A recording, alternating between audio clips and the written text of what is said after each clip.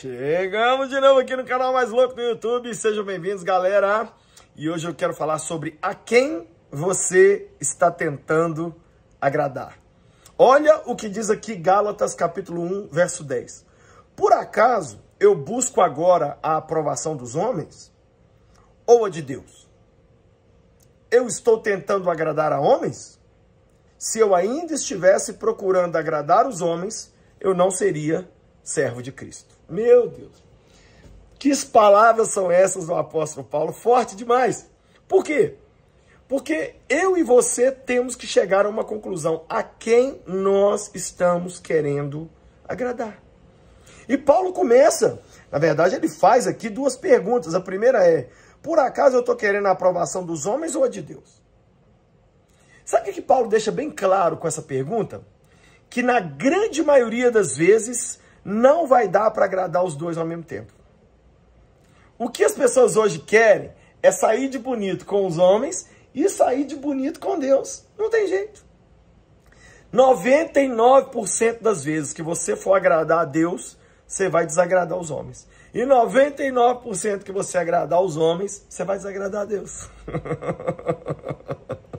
Por isso que ele fez a pergunta colocando agradar a Deus ou aos homens. Porque é muito difícil você fazer alguma coisa onde você consiga agradar os dois. Aí ele faz a segunda pergunta. Ou por acaso agora eu estou tentando agradar os homens? Gente, ninguém sabe a fórmula da felicidade. Mas a fórmula da infelicidade é tentar agradar todo mundo. Ninguém consegue. E nós, como servos de Cristo, nós não podemos viver uma vida Ai, tô com medo, o que, que os outros estão tá pensando? Eu tô falando isso, gente, porque eu trabalho com muitos adolescentes, com muita criança, muitos jovens. E qual é o pavor número um, número um, número zero dos jovens, dos adolescentes? Ser rejeitado. A vontade de um adolescente de ser aceito no grupo é tão grande que ele começa a falar que gosta de coisa que não gosta, ele veste coisa que ele não gosta, mas só para ser aceito, ele começa a falar do jeito que a galera fala só para ser aceito, e quando você de repente se pega, você está vivendo para agradar os homens. E Deus mesmo que é bom da gente agradar, passa batido. Aí Paulo diz assim, se eu ainda estivesse procurando agradar os homens, eu não seria servo de Cristo. Em outras palavras, ou eu agrado os homens, ou eu sou servo de Cristo. o cara é muito radical. Ele vê tudo preto e branco, Paulo. Sabe o que ele está dizendo? Se eu agradar a Jesus, eu preciso desagradar os homens. Por isso, gente, que muitas pessoas falam assim, Lucinho, você é um cara muito polêmico. Eu não sou polêmico. Eu sou um servo de Cristo. E não tem como ser servo de Cristo e não bater de frente com a cultura que tem hoje aí fora. E que muitas vezes está até dentro da igreja. Então a gente bate de frente mesmo. Por quê? Porque o cristianismo não é The Voice, não é Masterchef, não é Rinodê, que você está querendo crescer dentro da empresa. Não, não é não. Nós não estamos querendo agradar homens, não. Nós estamos querendo agradar Cristo. Cristo. Quem sabe você está me assistindo hoje e você faz de tudo para sair bonito com os homens, com as pessoas, com os pastores, com os parentes.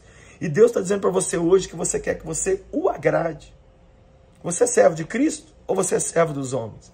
Pai, eu abençoo cada pessoa que me assiste. Eu te peço, nos ajude a não viver tentando agradar as pessoas, mas viver tentando agradar o Senhor.